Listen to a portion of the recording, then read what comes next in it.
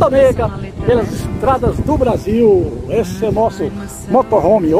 Tá aqui nossa bela casinha. Tá aqui o nosso quintal.